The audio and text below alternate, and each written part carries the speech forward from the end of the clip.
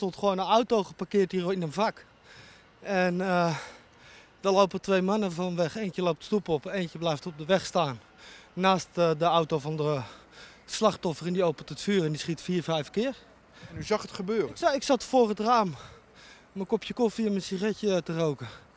En uh, ik zag het gebeuren. Ja, ik zat erop te kijken. En het eerste wat ik dacht, mijn dochter stond erbij, is... Als er iemand gaat rennen, gaan ze misschien erachteraan schieten. Is dus, mijn kinderen heb ik op de grond geduwd en gezegd, wegwezen hier. Deze buurtbewoner, die de liquidatie voor zijn neus zag gebeuren, wil niet met zijn gezicht op tv. Hij is bang herkend te worden.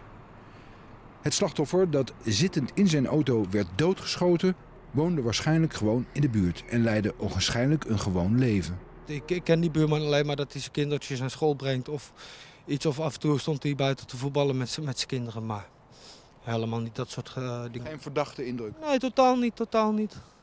Even later werd een vermoedelijke vluchtauto in de buurt gevonden. Uitgebrand.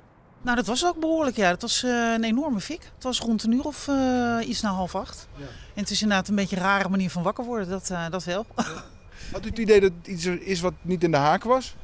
Nou, uh, je hoeft niet heel lang na te denken om te denken dat een auto die in de brand staat, die zo in de fik staat, s morgens om half acht, dat dat niet helemaal klopt uh, in ieder geval. Dat is niet iets wat normaal voorkomt natuurlijk. Uh, nee.